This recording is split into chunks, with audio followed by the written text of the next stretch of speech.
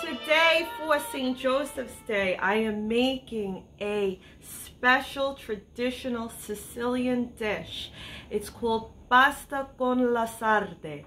Pasta with sardines, okay? So, this, uh, this turns some people off, but I do it delicious.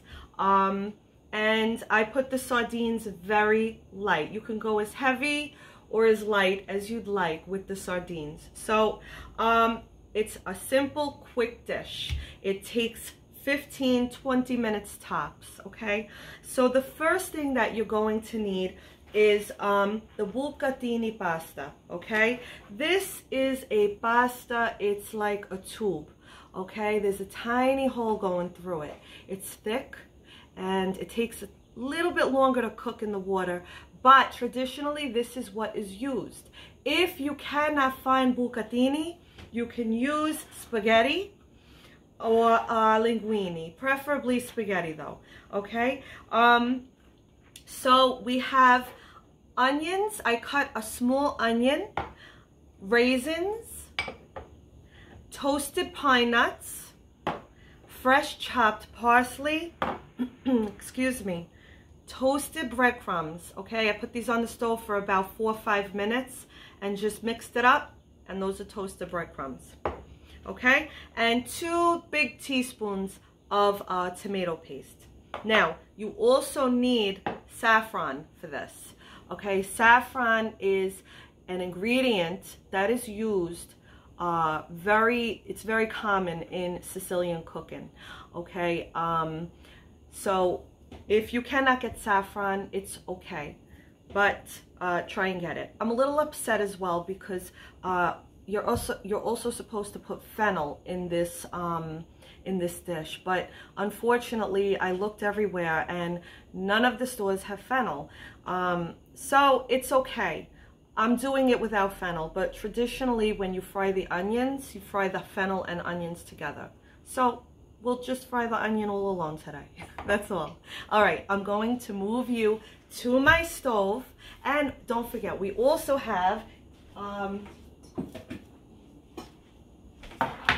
extra virgin olive oil and my cuoco sardines. These are from Sicily. They're from Palermo. If you cannot get cuoco, it's okay. You can use um, any type of canned sardine. Okay, so let's start. And here we are at my stove. Okay, so let's start this dish. I have uh, boiling water on my stove here and it's ready. So um, what I'm going to do is you always, before you put your pasta in, you do salt. Salt your water, okay? It flavors the pasta properly, okay? So I have my rock salt here and I'm flavoring it. Okay, that's about two teaspoons. Okay, now I have my bucatini pasta. And we're going to throw it all right in the pan, okay? So, now we're going to let this cook. All right, we don't want to push it down, trying to get into the, get everything in here. All right, we don't want to push it down. We just want to spread it out a little bit. Let it work its way down, okay? Don't push it. You don't want to break it, all right? Let it settle. Piano, piano. Easy. Take it easy. okay, so now let's start our sauce. Okay, so here we are. Let me get this uh, pan in view. Okay, so I'm going to talk through it. Okay, so now we are heating our pan and we're going to need our extra virgin olive oil. Okay, so let's oil our pan. Okay, and let it heat up for a minute.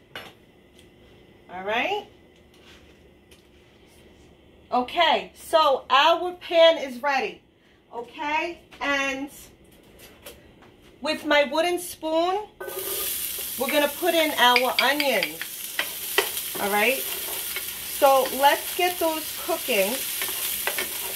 And you want to cook these until they are soft and a little bit clear. All right, and this is gonna go pretty quick.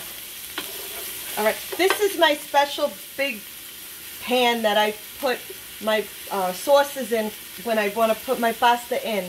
Because at the end of this, we're gonna put the bucatini inside of here, okay? Because we're gonna finish it off in here. And that's why I like to use a nice big pan, a pot pan. All right. Um, okay. So, and I'm on my double burner, so it's going to go fast. I got to watch things don't burn on this. This is my favorite uh, one, though. Okay. So next, all right, we're going to put in our raisins. Okay. Now we do add the raisins. We're going to add in our toasted pine nuts. Okay, all right in. Okay. Mmm, smells good. I love toasted pine. Okay. And we're going to put in our saffron. All right. The saffron is going to act like a dye. All right. And you need saffron for this dish. So there's a story to this dish. Um, you know, uh, Sicily was a very big uh, port, port of trade, um, you know, between countries um, to the Americas, from east to west.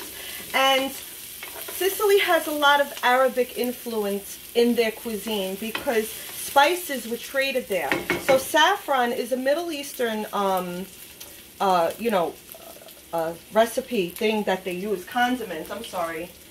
And it's widely used in, uh, in the cuisine. All right, and at this time I'm also going to add a little bit of my tomato paste. You don't need a lot because the saffron's in there. And that's going to uh, dye the pasta a little bit. All right, so let me just mix my pasta. This pasta is going to cook for about 10 minutes because it's a little thicker. So, with the water from the pasta, we're going to take that. This is going to be our sauce. Okay? That's our sauce. And this is such a good dish, okay? And I'm going to add in right now, I'm going to add in my sardines. This is a whole thing of sardines, but I go easy on this. All right, if you like sardines, add as much as you want. Me personally, I don't um, prefer too much.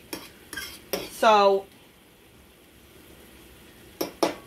okay, just a little bit more.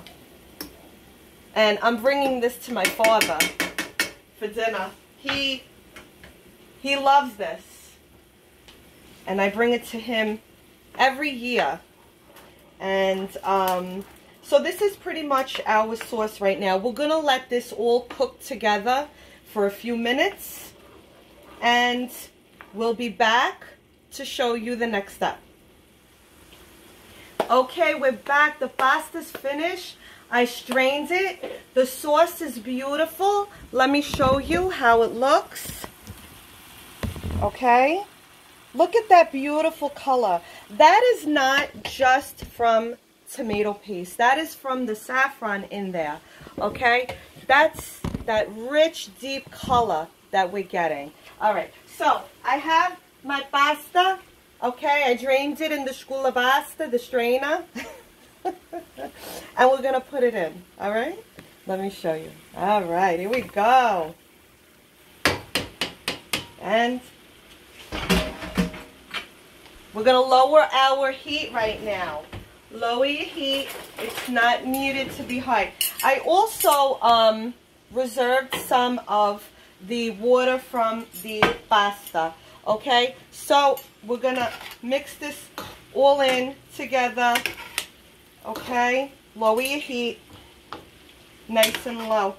All right, look, what the saffron is doing is it's dyeing the pasta a beautiful um, orange type of color.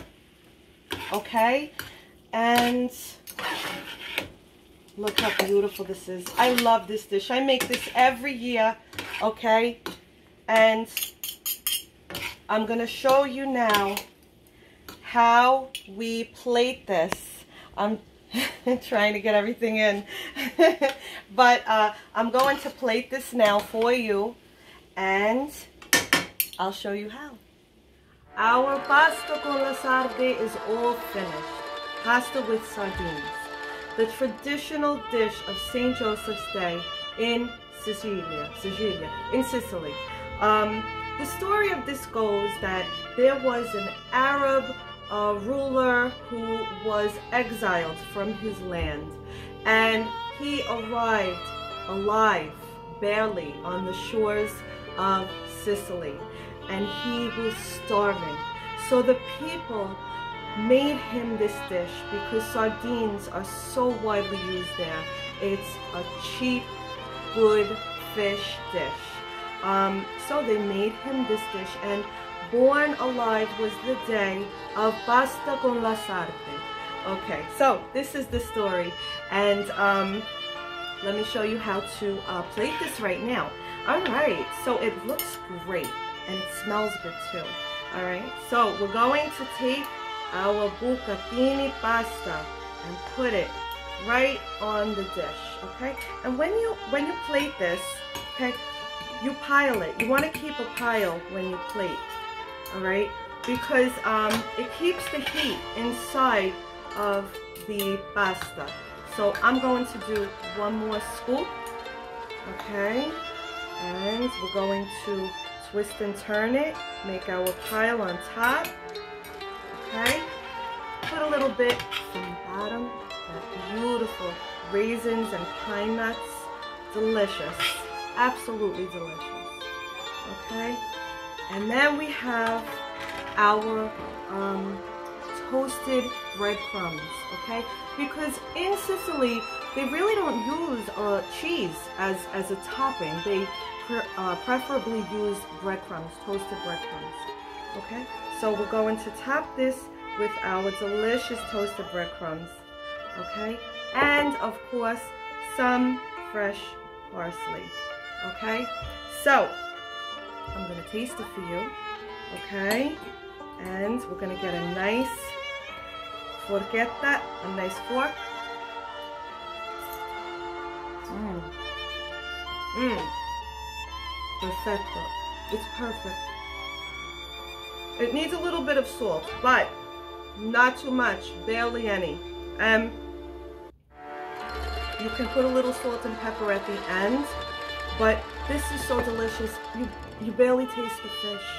And this is a tradition, okay? These are the traditions that, that I don't want to die. I keep them alive in my home. I pass them on, and I put these foods and stories on la tavola, on the table for my children to know and not forget because um, if you stop doing them, they get forgotten and they're special.